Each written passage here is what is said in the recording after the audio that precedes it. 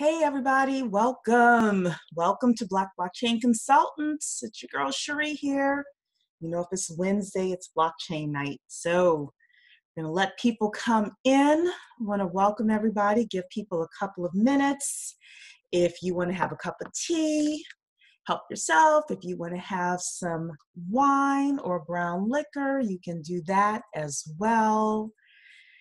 Tonight's conversation is all about smart cities and it's going to be really good. So, hello, Tawana. Hello, my dear. How are we today? Just wonderful, just wonderful. Excited about tonight's conversation. You know, I have to admit, I had heard the term smart cities. I didn't know anything about it. And I, I don't believe my clients are going to be on this. I was supposed to be writing a business plan today, and instead, I'm like researching smart cities. I'm like, wow, this is a really good topic. Why didn't we do this sooner? we may turn into the Black uh, Smart Cities consultants. Yeah, I agree. I, I got as well today because it was a very good topic to research. So I got caught up myself. Yes, yes. Hi, Eric. Hey, Eric. Hey, Juan. How y'all doing tonight? Good, thank you. So we're going to give uh, people just a couple of minutes to come in, get your tea, your wine, your your scotch, whatever it is that you want to drink. You may want to get a pen and a piece of paper as well because uh, this will be a good conversation tonight. So, Hi, Erin. Hi, Mark. Hey, guys.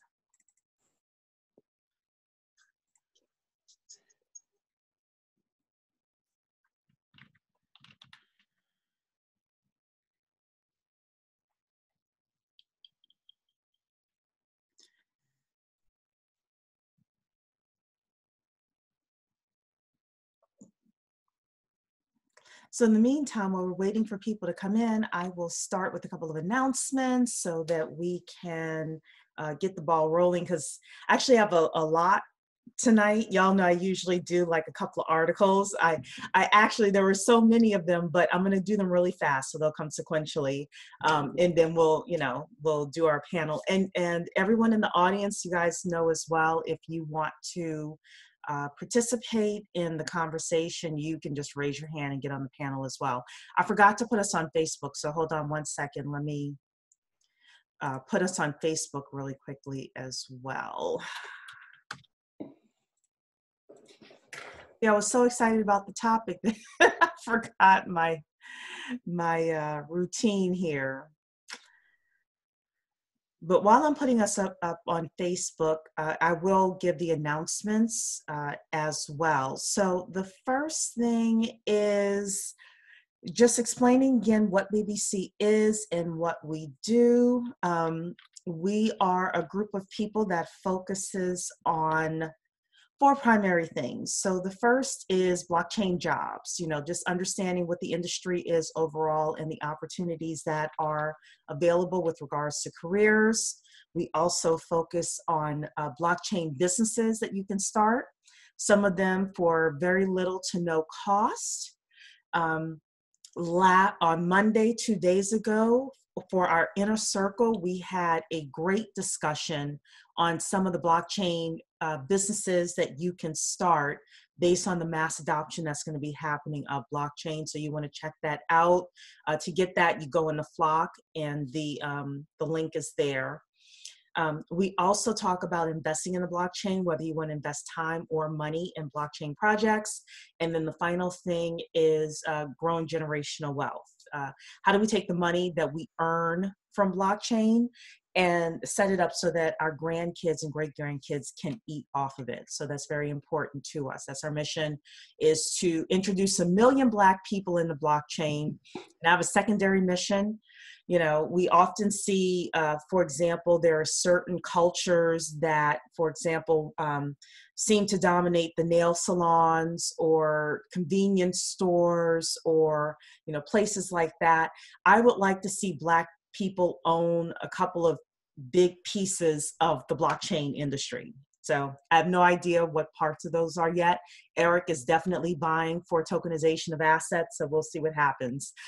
Um, yeah. Also, we want to invite anyone who is not a part of BBC to consider joining us. We have a lot of inner circle discussions in 2020. You all know that the decade is ending. In two months, the decade is ending. So 2020 is going to be the decade of new technologies, including blockchain, and we want to get our share. So uh, we invite you to be a part of you know what we're doing we're going to have a lot more inner circle benefits starting in 2020 uh, we also have our virtual conference coming up on december 4th that is a wednesday and we're talking about 21st century fundraising eric would you mind telling the people what's going to be happening on that day yes we're going to have discussions with you know, various thought leaders, people that are founders of certain platforms, maybe even platforms that, as you've been in the blockchain space, um, that maybe you're familiar with. Uh, we're also going to talk about opportunity zones. I was talking today to an opportunity zone expert, and I'm just really excited too to even dig into that discussion um, that much more. I think many of us may have heard, maybe we may have a you know a cursory knowledge of it, but this is going to be a great chance to get a you know really a, a deeper dive and learn a lot um, about you know it's an amazing uh, you know opportunity. Mm-hmm. The word. Opportunities. so, yes, and also we're going to talk about crowdfunding too as well, and and and how all of those things intersect and how they all can work together in concert with one another. So um, it's going to be an amazing time. I'm looking forward to it. Yes. So this uh, particular virtual conference is not just for people who are hardcore into blockchain. It really is for your entrepreneurial friends to understand what they can do now to raise money for their businesses and what's coming in the next five to 10 years so that we can all be smarter entrepreneurs. So um, then Tawana, we have our Atlanta conference coming up February 16th and 17th. Very excited. You want to tell the family, uh, you know, what we're going to have, you know, for our two days? Yeah, we're super excited about the conference. As Cherie said, February 16th and 17th. It's a Sunday and a Monday. It is a President's um, weekend. So if you're not already off, please ask for that time off and come out and join us in Atlanta um, you know, we're going to be talking about ownership. You know, that's the theme for us this year is to really talk about how can we own a piece of this space. Um, you know, we've we've learned over the last two years. We've spent our time educating ourselves, and now we know that ownership is the way to go, and being able to get a piece of that. Um, we've got some great speakers lined up. We've got some um, wonderful sessions where we can get together and talk about the different the various industries and how blockchain um, kind of fits into that space and how we can leverage those industries to make money. Um, goodness what else? We've got some i'm going to share my screen because i just pulled up the eventbrite. Oh awesome. so that way you can you can cheat a little bit here. Awesome awesome. Thank yes. you. Yes yeah, so on, on day one, we've got uh, tokenization. So what one thing we're gonna do that's awesome is we are going to tokenize a piece of artwork, right? In real time, we're gonna make this happen. Eric is spearheading that initiative. We're super, super excited. You know, we, we've talked about it enough. We wanna be about it, right? We wanna actually try this. And we're starting with something small like a piece of art. And who knows, the next thing it could be a piece of property, um, it could be, you know, a bigger asset, a building, uh, uh, you know, a piece of land, uh, a, a, music, a song or something. Mm-hmm. so we're trying out with something small in the hopes that we grow. Um, then we're going to network a little, and then we're going to talk some more about ownership in the space. And you see, that's the theme, right? Uh, funding our own technology, uh, talking to people who already have built businesses and they, they can guide us. We've got a wonderful keynote speaker, Chrissa McFarlane with Patient Patientory. We're so excited to have her come out and join us. For anyone who's been a part of the BBC, you know, we've, we've talked uh, to the Patient Patientory crew before and we love what they stand for and we're really excited to partner with them and to have Chrissa come out and talk to us. Um, and we, we still have some spaces. So if you are a thought leader in this space, reach out to us and let us know what you what you have to talk about, and we'll see if we've got some spaces for you. Uh, the roundtables are really interesting. For anyone who came to our conference uh, in 2017, I believe it was, the roundtables were a big hit, really talking about the industries. Um, and so we what we did this time, we only had I think like 30 minutes last time. What we did is we extended time because that was a fan favorite. So we're going to spend some time talking about the various industries, and these are some listed here just to name a few. We may add some additional ones. Um, and that's on day one, so that's on Sunday. On day two, we're going to. Um, oh, that is day two. Oh, that, that, that, was day two. What was what? What was day one? Day one is about tokenization, okay. tokenization and so funding our own projects. The, that's when we do the art. Yeah, that's when we yes. do the art. So we're super super excited please come out and join us. We know it's a, you know, a weekday is thrown in there, but we're hoping that enough people are on vacation that day that they can come out and join us. If you're in Atlanta, this is the place you want to be. Okay? Definitely. This is the place you want to be. And we're so excited to have you. We're super excited. This is year two for us uh, with a conference. We hope to make this a, a, thing, right? And do this every single year. And every year we hope to get better and bolder and bring topics that people really want to know about. So please come on and join us. Absolutely. So, and we also going to have, if you have a blockchain book, an entrepreneur book, um, any kind of motivation, personal uh, self help motivation book, we're also going to have a book table for our inner circle members. So you have to be an inner circle member in order to get access to that, but you'll be able to sell your books on site. And we also have exhibitor tables as well. Uh, you have to go through an application process just because um, Cherie prefers for us to have uh, related blockchain or entrepreneurial related businesses, you know, resume building, uh, career building, you know, um, business consulting, things like that uh, as exhibitors. So you'll reach out to Tawana for that as well. Uh, any final uh, announcements before we go to our topic of the night? Oh, I think we're ready to dive in. Okay, everybody. So we're going to dive in, and I'm going to start off tonight with the CNBC video because I think it sums it up really well. So let's get started. Your city, chances are it's getting smarter by the year. Many governments around the globe are racing to infuse technology into just about every aspect of its city's operations. And I mean every part, including public transportation, IT connectivity, water and power supply, sanitation and solid waste management, efficient urban mobility, e-governance, and citizen participation. And it does this using every buzzword imaginable, from big data to the Internet of Things. So how does a smart city work? Let's look at three examples. Here in Singapore, the city state might be the gold standard of the most extensive effort to collect data on daily living. The government is now deploying systems that can tell when people are smoking in prohibited zones or littering from high rise housing. Singapore launched its own Smart Nation program in 2014 and will add more cameras like these so the government can effectively monitor crowd density, cleanliness of public spaces, and even the exact movement of every locally registered vehicle. Much of the data it's collecting will be fed into an online platform called Virtual Singapore that gives the government access to how the city is functioning in real time. It could help the government predict how crowds might react to an explosion in a shopping mall or how infectious disease might spread. Over in Dubai, more than 50 smart services from 22 government entities have been rolled out as part of the government's Smart Dubai initiative. Using the government provided app Dubai Now, you can do things like pay a speeding ticket, which likely captured you on a public camera and then emailed you the ticket directly. You can also use the same app to pay your electric bill, call a taxi, track a package you sent to your friend, find the nearest ATM, renew your vehicle registration, track the visa status of a relative, and report a violation to the Dubai police. Now head over to Barcelona, where one research firm estimates the city will save billions of dollars a year in energy costs just by installing smart systems like these.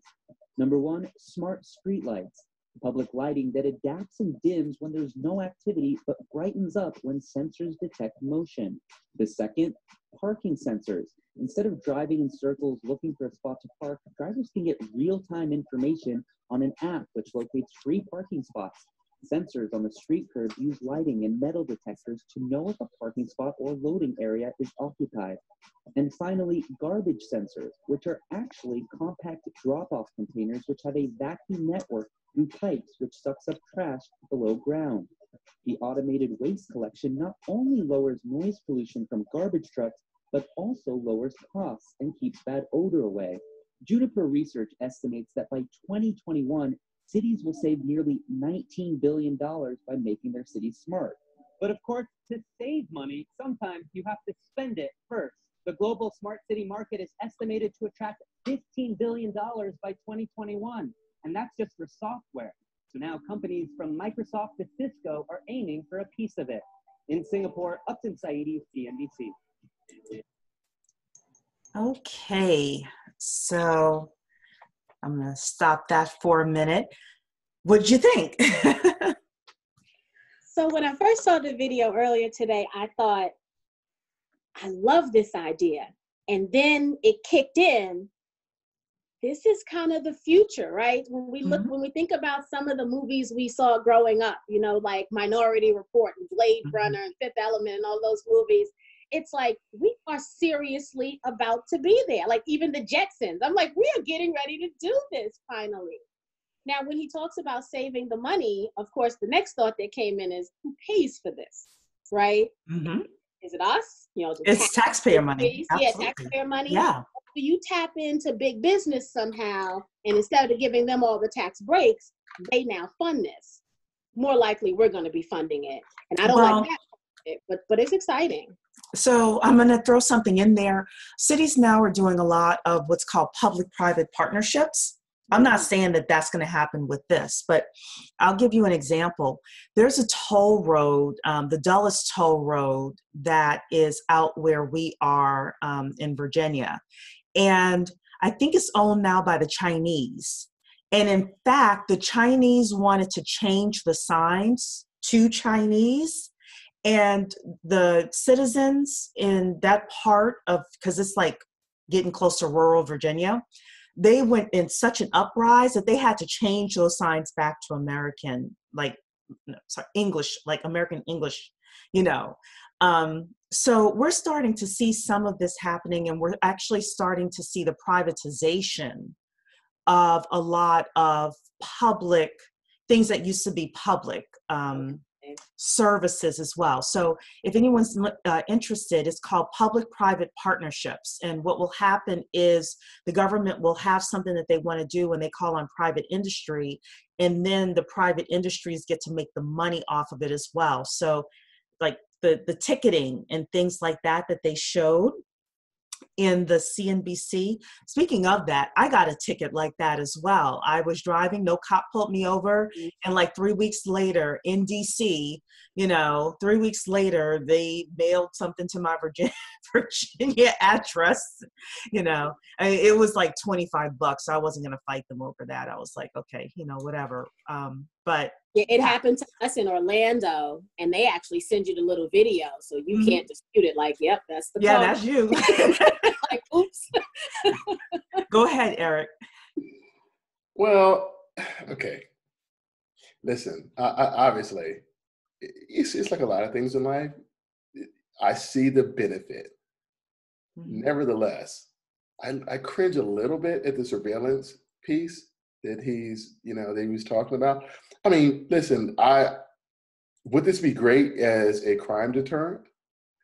Yes, I would love to see that. That'd be fantastic. If, if they if they if they can um, identify the right person. I know. See, that's, that's the problem. so don't even say that. I know, but see, this is what's going to happen, and and this is and and, and, and we already know it's just not going to be yeah. this is smooth ascension. Where oh my gosh, now we're in this great utopian city where everything. Like we already know it's not going to be there. There are going to be some sort of casualties along the way. Mm-hmm. And that is kind of a little bit of my concern. Now, energy consumption, um, you know, of just reducing energy waste, um, you know, even like the cleanliness aspect, which I've heard Singapore is one of the cleanest, cleanest modern, you know, large cities that you're ever going to find. And I, I, I mean, that would be fantastic just to have it um, being able to, especially with our landfills and you know, mm-hmm. like I mean, we're awful with that here. I mean, yeah, we're trying. Could you could you clean up? Yeah. yeah. I, I, mean, I'm thinking, could you clean up the hood?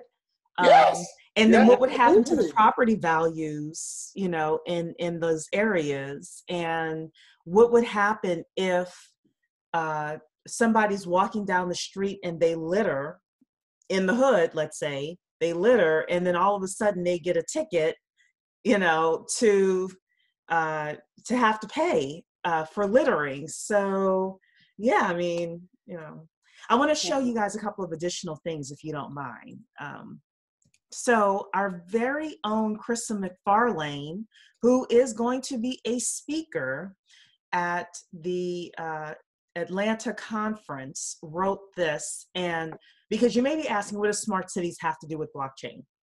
She's asking, are smart, are smart cities the pathway to blockchain and cryptocurrency adoption? Because smart, because there's a statistic that says over 60% of the population is going to be living in urban areas or suburban areas in the next uh, decade or so. So these uh, cities, and I'm going to show you some of the cities that are fighting now to become smart cities, you know this is going to be happening everywhere across the globe even in africa and i have an article to show with you to share with you with regards to even in the remotest areas of africa where these technologies are going to start penetrating.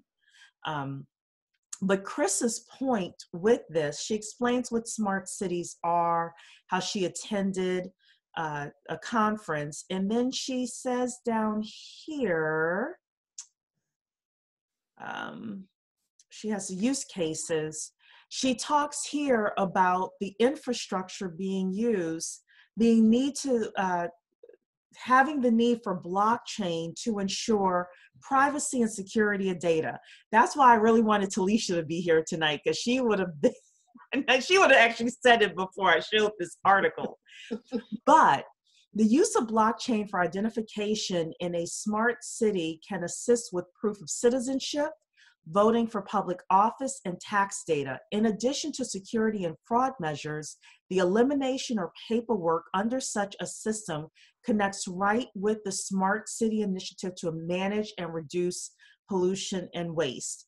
Other typical services include the use of internet sensors to detect road maintenance or other general repairs, connection of home utilities and rent to the blockchain, as well as healthcare services.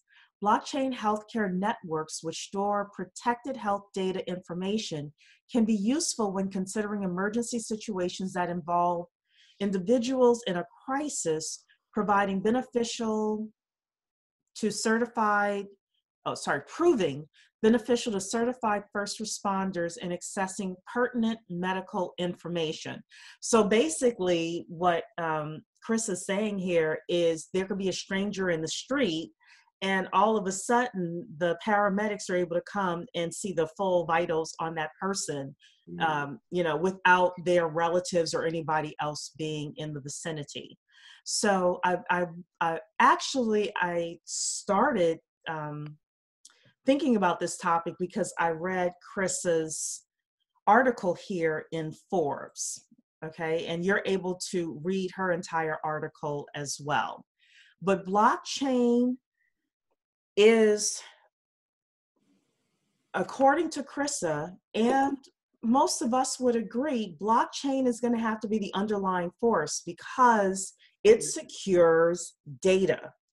And this whole smart city is built on data. And mm-hmm. if there are data vulnerabilities and data breaches, mass mm-hmm. adoption cannot happen. It just can't. So then you may be asking yourself, well, so what are hap- what are some of the smart cities in the United States? So I found two different articles here that have a whole bunch of different cities, but uh, 10 of them that this group RouteMatch talks about is Boulder, Colorado. They have um, an energy grid that they're working on. Then Pittsburgh, Pennsylvania. And I was like, Pittsburgh? Apparently, uh, they are reinvesting in infrastructure because of a decreasing population. They're using, I'm not sure if this is still uh, out there or not, IBM Smarter Cities. Mm-hmm. Is, you know, so people who want to work for IBM, you can check this out, see if they still have it.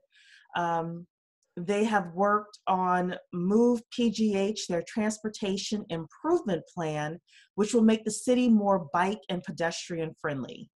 Um, so again, this is from 2017. You can see if this uh, information is still you know, still valid. San Francisco with smart parking systems. Louisville. Look at that. My city made the map. You made the list. What are we doing here that's smart? it says here um, while many people may only know of it as the host of Kentucky Derby, Louisville has also distinguished itself as a leader in smart technology. Its initiatives include a data driven application for inhalers to reduce mm-hmm. asthma risk and transportation efforts like a plan for a smart lane for connected vehicles. Like the other cities on the list, Louisville is using technology to look to the future. So it looks like they're working on stuff within transportation in your city. Interesting. Very interesting. You got Fresno here. I, I want to come back to something here when they mentioned the smart inhalers in healthcare. And I'm not going to say this with regards to who to vote for or anything like that. I just want to put it in perspective of Healthcare is America's number one issue. It is the costliest issue. On the Democratic side, you've got Bernie Sanders and now Elizabeth Warren saying Medicare for all, you know, really pushing healthcare. Um, on the Republican side, they've been trying to deal with it in their own way and are going to continue to do so.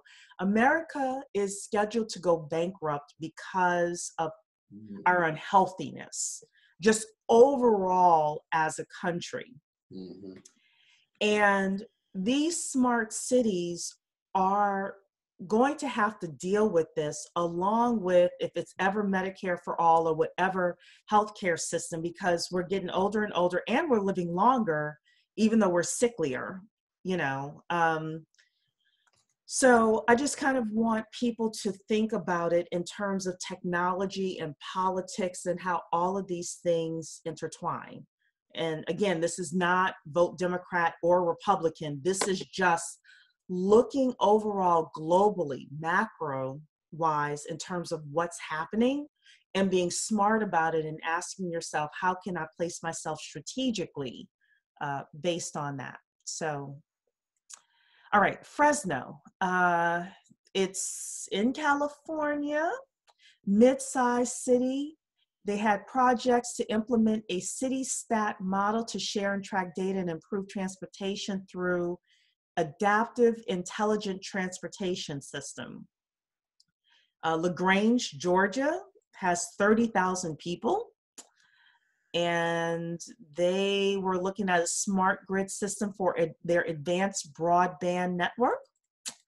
Columbus, Ohio. So Lorna, I don't know if Lorna's out there tonight, but uh, Ohio is in the news here. Um, they were they won a DOT grant for something or other. not seeing exactly what this is.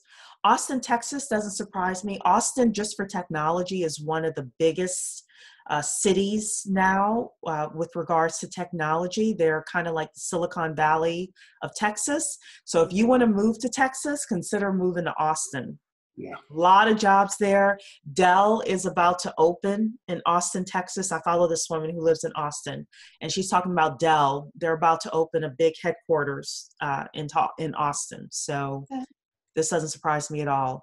Cedar Rapids, Iowa. I hear a lot about Iowa as well, and a lot of the things that they're doing. And New York City. Well, we're not surprised with New York. They they desperately need help with their transportation. Take it from somebody who knows about that. Um, this here is uh, 12 of the top 50 smart cities in the world are in the United States. So they have some additional cities here. They're listing like Boston, San Francisco, Chicago, Seattle, Charlotte, DC, Columbus, LA, Atlanta, Philly, and Kansas City. So again, just wanted to show you these things. And then they're talking here about Africa. What's happening in Africa? So, the three technologies that are going to most shape Africa in the coming couple of decades are Internet of Things, smart cities, and low Earth orbit systems. And I'm not going to um, read this entire thing, but they're just saying that uh, six of the world's 41 mega cities by 2030 will be in Africa. And the world is going digital. A lot of Africans now have cell phones. They have access to certain things, even if they live in the rural parts that they didn't have before. Not all of Africa is poor. You know, that's something that was fed to us by the media. It, it's not true. There's a, a burgeoning um, economy in Africa. And the smart cities, along with this low Earth orbit system, will um, bring more technology to the rural areas of Africa. And you can go through and read this article uh, if you want to. But I just wanted to bring that up because some of us either work on the continent or are from the continent and we care about what's happening there as well. But smart cities, smart cities do face certain challenges. So I said, okay, well, let's see what some of the challenges are. Technology challenges with coverage and capacity, digital security, legislation and policies. So a lot of times technology is far ahead of the legislation. Uh, lack of confidence or reluctance shown by citizens. So again, we continuously refer to this innovation adoption cycle um, where you know right now smart cities is kind of in the innovators early adopters section. Um, but over time within the cnbc where they said that certain people were going to be able to pay their tickets on their mobile apps there'll probably be a time where everybody has to pay their ticket on their mobile apps. Mm-hmm. and the late majority and the laggards are going to need help setting that up. There's i mean you know uh, we we always talk about how these things are going to happen. Also within this are also going to be certain cities some cities are going to be early adopters and other cities are going to be late majority and laggards you can make money by working with some of the cities that are early adopters becoming really good at, at being the blockchain expert for smart cities.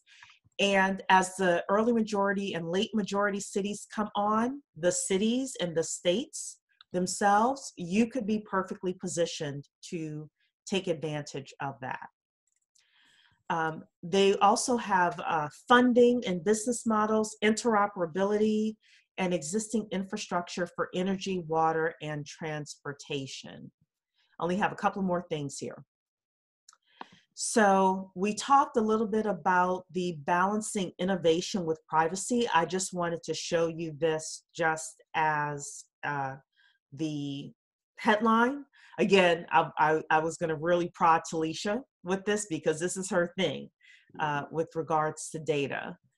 And then a look at smart cities um, of the future and some of the companies that will benefit. So, again, if you want to talk about starting a blockchain business, these are some of the companies that are going that are in the forefront that you either want to join forces with, go to work for them, become a subcontractor uh, with them, etc. So they have here, they're saying that the global market for smart cities is going to grow from 308 billion in 2018 to 717 billion by 2023.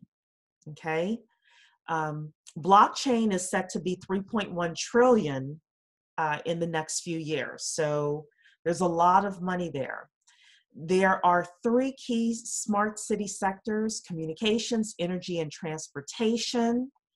And um, I think that was all I wanted to share with this article here. Were those, yeah.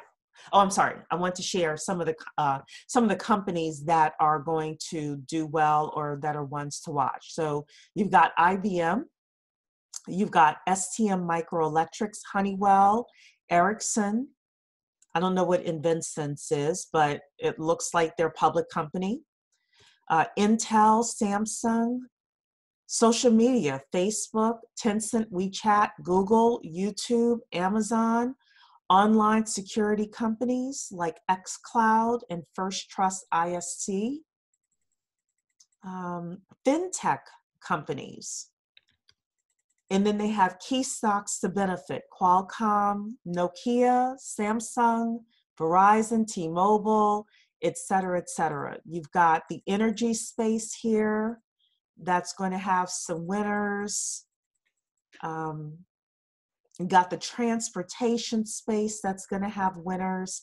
Again, I'm just trying to get people's minds mm-hmm. um, moving and you know as we're thinking about this about the opportunities that are within smart cities i've said before pick a niche you know freshman and sophomore year of college you take your general studies we did we did that in 2018 and the beginning of 2019 now i suggest you move to junior year pick a niche pick an industry or pick a use case or something like that and become the expert and the go-to person so with that, I am done.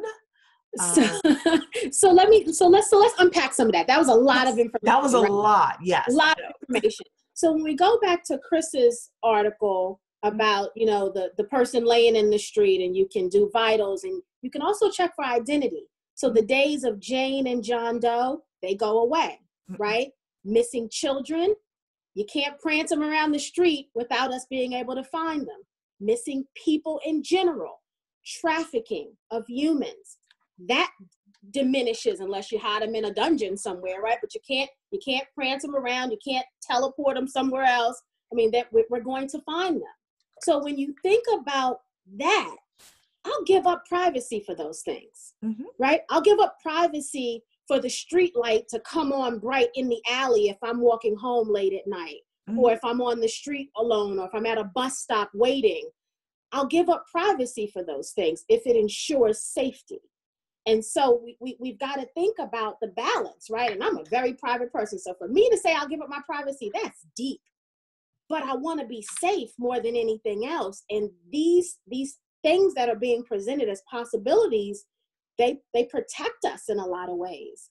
Now, where we have the problem is the lack of communication, right? So they, these things can't be just government based, right? So it's decentralized. That's the good thing. So we all have a view inside, but there also has to be a two way communication with the citizens.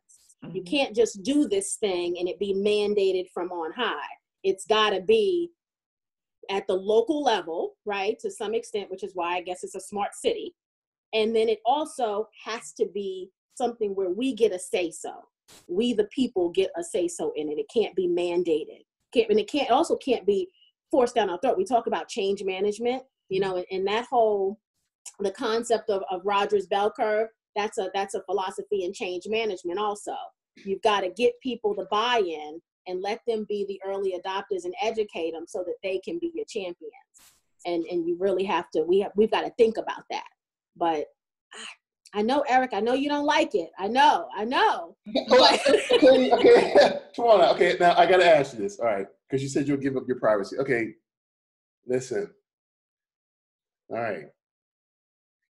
How much of it are you willing to give up? Okay, let's just say, for instance, um, let's say you had an expired tag, an expired tag. Okay, you you you you you forgot, you know, or whatever. You've been in traveling or something like that, and because you know, whatever your surveillance, and it has the entire block there. It dings your car. All the cars, all the license plates have chips on them, and yours wasn't updated and you know you get a ding on your phone hey you have been ticketed for x y because you haven't you know and and the only reason why i'm bringing that in is because i do get it and i'm with you too especially anytime we can ensure safety especially deter crime especially horrible crimes like you know human trafficking and all those sort of things absolutely um, i also know that you know, there's an arc that goes where I get to the point where now we're going to invite people in and then we're going to, they're going to bring their own different ethics. I remember this having this conversation. I remember one time when I seen this one place and um, they had an HOA. Good grief. And the, the things that these people would talk about that they wanted to regulate, I'm like, will you just let people live on their own and leave it alone?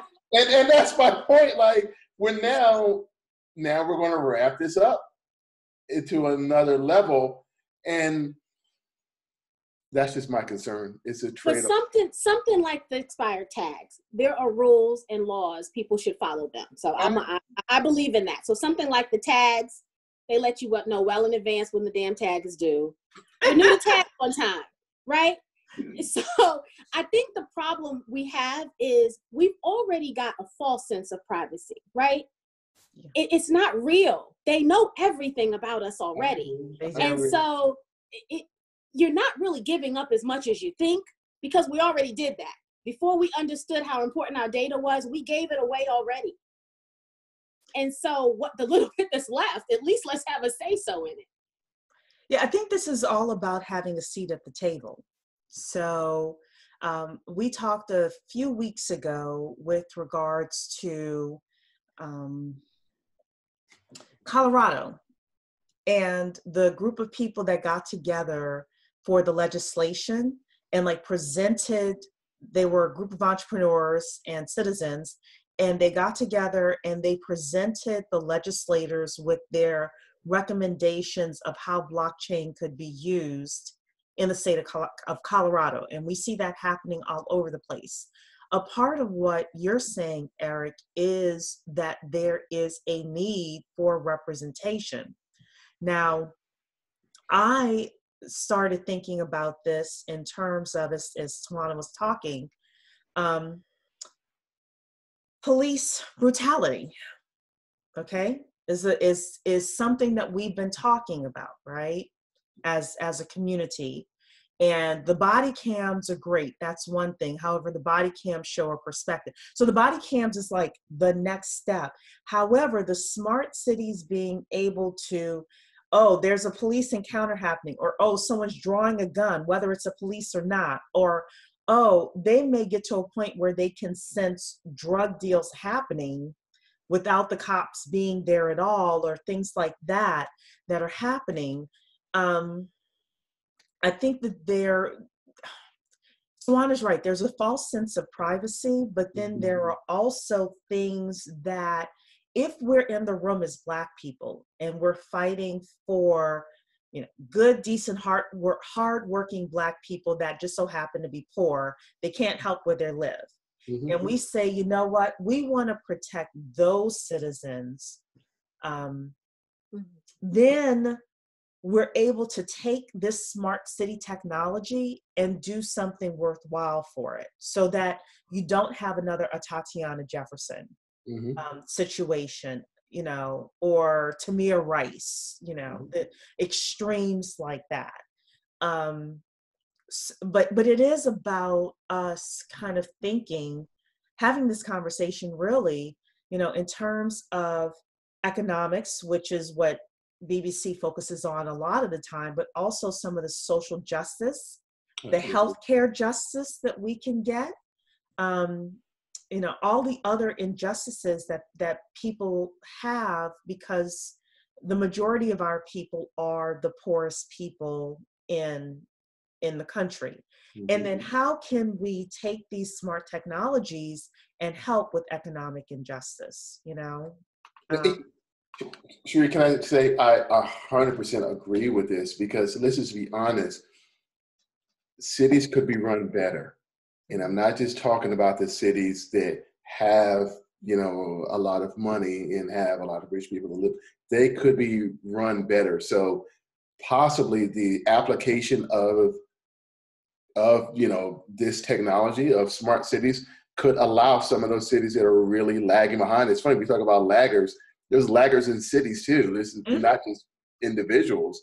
Yeah, so, like whole cities. That's what I was talking about with the whole cities. Yeah. Yes, that are totally behind, and you're going, why are you not up to date? And, and you know, I, even you know, living where I live in in the southern part of Virginia, um, you know, at times when we have like the big storms, which we know happen happen quite frequently here on the East Coast.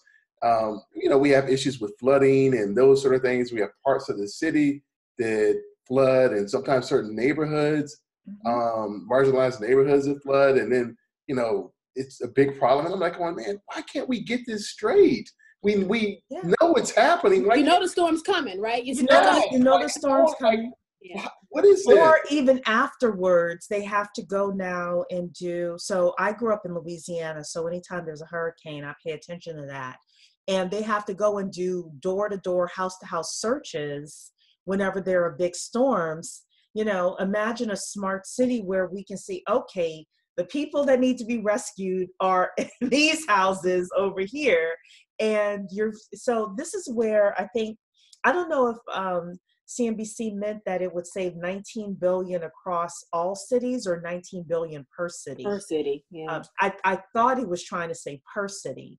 Well, yeah, that's that's a heck of a savings because you're going to be saving on manpower, on time. They're going to increase their revenues as well because they're going to give more tickets. You know, um, there'll be more safety, but then there are these other downsides that are going to come from the smart cities, we're gonna want to call them downsides, you won't be able to hide in the shadows right. as much. Like, you know, it's it's it was easy in the 60s, 50s, maybe even the 70s that if you wanted to go hide somewhere, you could. Today it's harder. You could do it, but it's infinitely harder. When you get to smart cities, it's going to be even impossible. Yeah. Yeah. What does make me nervous though it, it, it's the vulnerabilities, right? So the city's smart until it's not, right? until mm-hmm. till the out till there's a power outage and there's there's nothing, or until there's a cyber attack, and then everything is is so technology driven that we can't even you know eat or cook or anything, all the basic things because we've depended on technology so heavy. So that does make me a little nervous with this you know at some we, still have to be able to do some things on our own that are not tech dependent or we're gonna we're gonna set ourselves up for a problem because the cyber attacks will happen or at least the attempts i i agree it, yeah. it, it's funny because my you know um, my best friend lauren he's in the group and he was replying in the chat uh, lauren's in the energy sector so he works for dominion power and you know it's funny because you know, we lose power and, and, that sort of thing. But and and I saw that he mentioned earlier how they're having a discussion about going to the smart grid, about transitioning to a smart grid. But man, I I just wonder, you know, just when it came down to attacks, I mean, now you can hold an entire city hostage. I mean, I, I don't, you know, I don't know, but at the same time, it does it, it does need to be addressed and upgraded. I know when storms happen, it's it's a consistent thing that parts of the city will lose power. Yeah. And kind of look at that, and you go, man, how can we make this is still happening? Like it, like you know, but it's kind of one of those things. I do want to say something because um, Chrissa McFarlane, she did mention something that I, I look at and I go, okay, this should be an, a no-brainer, and and that is voting on the blockchain is a no-brainer to me. Like like how that like all of the problems that happen and here we go now where the stakes are going to be super high you know come you know next november. And and and, and you have to think about that. I'm sorry to say this is almost making me laugh regardless of what happens, somebody's going to say somebody cheated. Of course, of course. Who, but you know, somebody's going to say. Uh, and not not just the presidential elections, all the Senate, the the state senators, the mayors. Yes, yes, yeah. they will. But I do think. So this is the conspiracy theorist in me. Um, if you made if you put voting on the blockchain and if you made blockchain sorry if you made voting easier um and, and i'm not saying democrat or republican i personally think i personally think the republicans will have a problem with it um just because, because, because more people and do it. More people would vote or even stay in and do it. vote and the people that are not voting now are younger and browner. And if you gave them equal access to voting it would really flip things to a point where they don't want it. Again not to turn this political republican right. democrat don't i i don't even to me they're both the same party. That's just my but just think about that's a good point. Think about if voting was allowed on a mobile app yeah it, it you can wake up you can wake up on election day and you click. do it before you got up. Mm-hmm. You just click and you go on with your day. Employers won't have to give the four hours that we got to figure out how we giving everybody. You That's know, people don't have to decide. Do I want to go stand on the line? I don't feel like standing on the line. I mean, people can literally click a button, your vote will count, and you move about your day. And you work for an employer that will give people the four hours. There are a mm-hmm. lot of minimum wage people who cannot afford because they're working two jobs yep. they cannot afford to take the time off and their vote doesn't count right. so you know i mean let's be real here but we got nine minutes left so i want to end this on a positive note and talk about opportunity for us because that's what we do within bbc um, one of the first things that uh, came uh, about i think eric was talking a little bit and it just spurred, uh, spurred this in my head was uh, there was an app that did the facial recognition and they didn't test it on any black people mm-hmm. um, they only use white and asian people because that's who was in the test group and when black people like they released it and when black people used it it said we were gorillas and all of that um, I do think that part of the opportunity that we have within the smart cities is to be part of these beta groups, to be part of these legislative groups. And I'm saying in terms of making money, being consultants for diversity when it comes to how smart cities um, and the blockchain relate with each other. I see that as a huge, huge opportunity for us. I just showed you all of the big companies that are getting involved. You could do it from the corporate side, you could do it as an independent consultant and thought leader. You could do it from the city side in terms of protecting the city. Because let me tell you, the first Black person that is falsely accused because of these smart cameras wow. that are here yeah. That they they the you think the cities are paying now mm. for the um you know swapping of the DNA and police mm. brutality and all of that.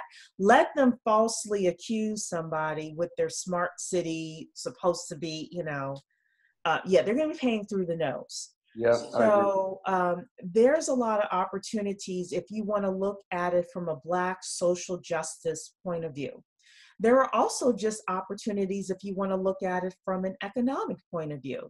Um, they they in all of the articles that I've I've read, you know, they talk about transportation, they talk about energy, they talk about some of the um, surveillance uh, items that are going to be coming and just making city life easier for the city as well as its citizens.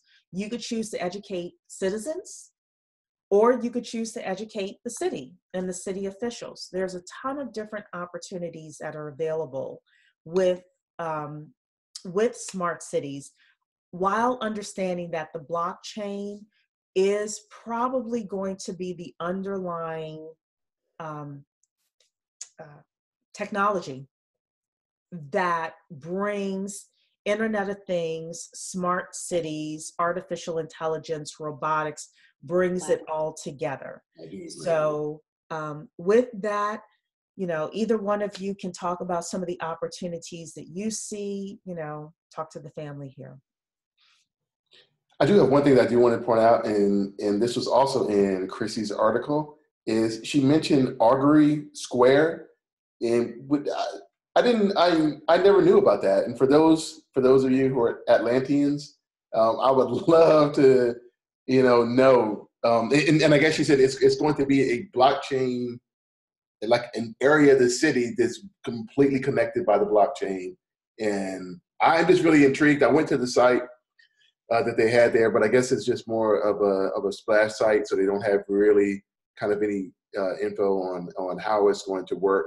Mm-hmm. But I'm really interested to see um, because Sounds that like we need to take a field trip when we go to Atlanta in February. I, so. I would I would love to do. Yeah, I, I mean, I, I wanted to throw that out there. I, I would love for us to go there just to and just look at the area and just kind of just even see because I was like, wow, that's that was a that was the first time that I'd heard about it, and um, you know, the, the, the link in her article led you to the announcement. And it looked like this only happened like in September was when this was announced. So this is a brand new initiative. It's going to be really intriguing to see how how that works. And and they talked about even cryptocurrency being a part of it. So I'm like, wow. So how is that going to work? You know? So yeah, it, that doesn't surprise me. Which mm-hmm. is why I think Facebook is going so hard for the stable coins yeah. And and I don't know if you all saw the news, but they they're mm-hmm. dismantling mm-hmm. Libra, and instead they're trying a term with a lot of di- different stable coins.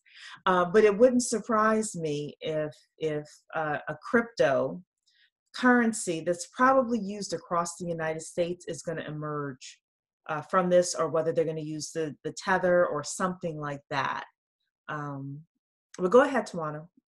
I would just say, as my final comment, is if you have any interest in cybersecurity at all, this is the time to, mm-hmm. to dive deep and learn it and start a business. Because for me, that's the, that's the industry that is going to thrive if mm-hmm. smart cities start popping up. Yeah.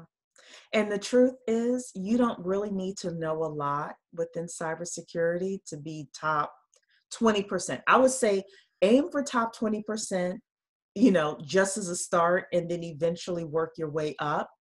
Uh, but there are, now I don't know this for sure, but I got it from a reliable source. There are even in certain cities, if you go to your community college, they will give you free classes in cybersecurity and network administration because they want um, these cities are trying to attract uh, high tech companies to come in. Mm. And what they do is say, you know, we have this workforce of people that are able to, um, uh, that are you know certified, qualified, able to to do the jobs. And the person I heard this from was in Austin. However, you should check with your community college if you want to get into cybersecurity. It's never too late. You're not too old. You know, go talk to the people at your community college because you may be able to get some certifications uh, for free, get you a good entry level job, work your way up. Say that you want to work with smart cities and cybersecurity. There's a lot of opportunity that's out there. Yeah, that's a good point. And it could be a good opportunity to um, partner with someone. So, mm-hmm. you know, find someone who knows cybersecurity but not blockchain, and mm-hmm. you're the blockchain specialist, and together it's a powerhouse team. Exactly, exactly. So, okay, everybody. Well, I hope you enjoy tonight's convo. Um, and if you're a geek, uh, like we are, I'm sure you're going to do more research on smart cities. I think it's something to watch out for. Uh, jobs will be changing. Oh, this is another thing. If you work for your city government, if you work for your city government, watch out for this because if you have the type of job that these smart cities will replace and you're 40, 35, mm-hmm. my suggestion to you is you start looking to pivot because in about five years, once blockchain, you know, and um, and IoT gets their footing, and once some of these cities start um, having success stories, your city may be coming in to it. So, you know, a lot of times we get chopped off first because we have those types of jobs that that, you know, it's just redundant with the technology. So that's another big thing as well. Okay, so um, we are also trying to grow our YouTube channel. So if you would like our YouTube channel, if you're watching this on YouTube, or you know, if you can go, uh, Black Blockchain Consultants is our YouTube channel. And then uh, next week we have Doc, uh, Professor uh, Lou, who's coming on. He is a machine learning and blockchain consultant with Johns Hopkins University. Uh, he's a Johns Hopkins professor as well, so that should be really good too. So you can come on back next uh, next Wednesday and join us. Thank you so much, everybody, and I hope you have a wonderful and blessed evening. And don't forget the conference, Atlanta, uh, February 16th and 17th. Go to the website, and then also the virtual conference that will air on December the 4th. Yes. How about you just join the inner circle and we don't have to keep reminding you because then you'll know about all of these things. Yes, we're we're we're going to send out multiple uh, multiple reminders about all of these things. So, thanks guys. Thank you, Jeffrey. Thank you. Bye, Take care. guys. Night, everybody. Bye bye.